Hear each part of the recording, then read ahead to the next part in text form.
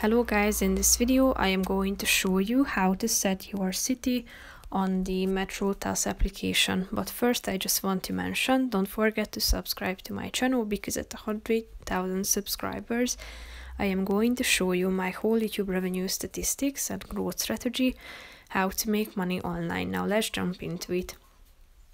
First of all, open the app on your phone, then go to your home page and uh, at the bottom of this section you can find the fourth option my settings where you can update your information and manage your default city.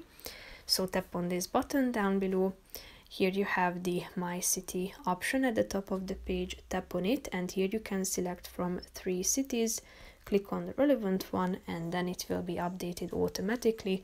So it has been set as your default city Feel free to change it anytime by coming back to this section and tapping on the relevant city you would like to change it for.